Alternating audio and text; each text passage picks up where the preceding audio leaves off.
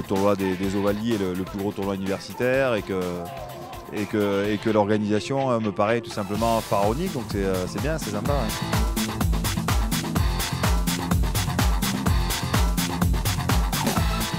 Nous, ça nous tient à cœur vraiment de, pouvoir soutenir euh, les, associations qu'on a décidé de, soutenir.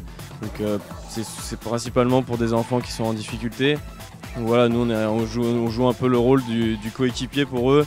Et donc, on, s'investit au maximum pour pouvoir les aider, leur, financer par exemple des études ou autres.